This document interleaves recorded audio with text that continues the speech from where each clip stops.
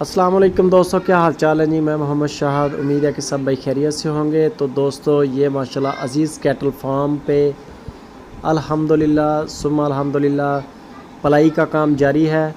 اور یہ ماشاءاللہ ہمارے پاس، ابھی جانور ہمارے پاس اور بھی آگئے ہیں۔ شہزاد بھائی کراچی سے ہیں، ان کے ماشاءاللہ تین جانور ہیں۔ تینوں، وہ بھی بڑے اچھے ہیں۔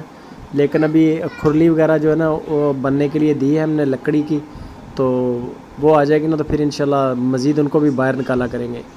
اور یہ ہمارے پاس پہلے کے جو ماشاءاللہ پانچ جانور جن میں کسوہ یہ کھڑا ہے اور بلیک والا اسود اور یہ سامنے جو پٹیلا کھڑا ہے، یہ اسکر اور ریڈ کلر میں سالب اور جو ساتھ میں آ رہا ہے وائٹ کلر میں، یہ ہمارا یومن تو ماشاءاللہ جو تین نئے ہمارے شہزاد بھائی کے آ رہے ہیں، نام ان کے بھی آپ کے ساتھ شیئر کریں گے۔ بڑے پیارے نام ہیں، انہوں نے بھی نام بھی سلیکٹ کیے ہیں اور آپ کو ان کے جانور بھی چیک کروائیں گے، بڑے پیارے ہیں۔ ماشاءاللہ ساری کلیکشن ہی اچھی ہے، جانور جتنے بھی لے رہے ہیں، الحمدللہ، ماشاءاللہ اچھے ہیں۔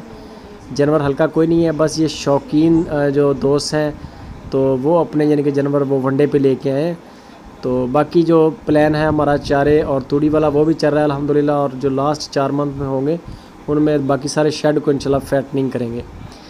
تو دو سو ساٹھ روپے پر ڈے کے حساب سے یہ چارج کر رہے ہیں دو سو۔ اس میں ونڈا ہے چار کلو، توڑی ہے تقریباً پانچ کے جی کے قریب توڑی ہے، پانچ کے جی کے قریب ونڈا ہے، یہ ماشاءاللہ تھوڑی سی توڑی لے کے اس میں زیادہ یہ ونڈا مکس کیا ہے سارا۔ تو اس میں تیل وغیرہ دیں گے، وہ الگ ہیں چارجز، تیل کے سیرا ان کو کھلائیں گے۔ اور باقی کوئی ریگولر ویکسین ہوتی ہے وہ چارجز ہلکے پھلکے جو بھی ہوں گے، سارے شہر کے وہ مشترکہ ہوں گے۔ ان کی انشاءاللہ جو خدمت ہے وہ کرنے ہیں اور جو چارجز ہیں وہ یعنی کہ زیادہ تر پیسہ بنتا ہے اسی کا منڈے کا توڑی کا چارے کا وہ دو سو ساٹھ روپے پر ڈے کے حساب سے لے رہے ہیں۔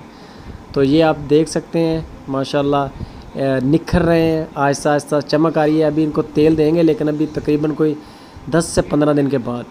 ابھی گرمی ہے، بادوں کے تھوڑے سے دن رہتے ہیں، یہ نکل لیں۔